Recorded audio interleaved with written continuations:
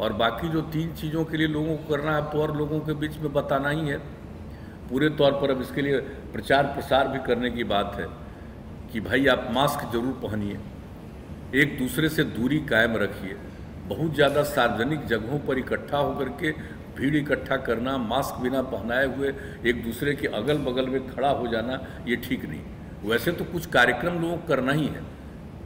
किसी का श्राद्ध है, किसी की यहाँ शादी है तो उसके लिए भी संख्या निर्धारित कर दी गई है कि भाई इससे ज़्यादा मत करिए। लेकिन मास्क पहनना, दूरी कायम करना, हाथ को साफ़ करते रहना, ये बात तो लोगों को जो सुझाव दिया जाता है, ये तो करना ही है। और सब लोगों को प्रेरित करना है कि भाई आप अपना टीकाकरण भी कराइए और दूसरी चीज़ें की टेस्ट भी करवा लीजिए। ये दोनों काम हम लोगों को करना है। और हम लोगों को पूरा भरोसा है कि टीकाकरण हम लोगों का मैक्सिमम हो जाएगा तो स्वाभाविक तौर पर नया जो बीमारी फिर से आ रही है, उसका असर कम से कम होगा। इस पर तो हम लोगों को है, पूरा भरोसा है। ठीक है, संख्या के बारे में पहले जितना था, हो सकता है कि उससे कुछ संख्या बड़ी हो, लेकिन वो एक अलग बात है।